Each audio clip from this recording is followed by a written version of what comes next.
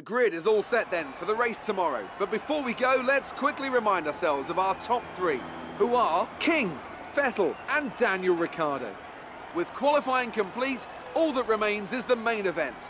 We'll be live and uninterrupted for the Grand Prix tomorrow, so make sure you join us then.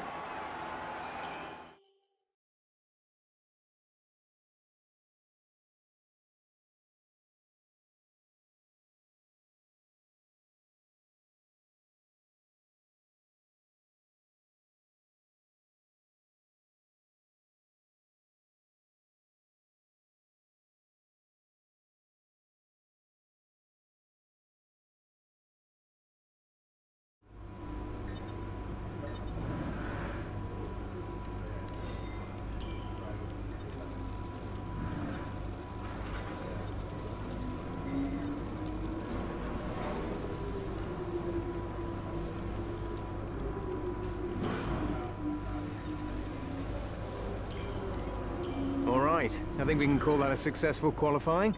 We should be in with a good chance in the race.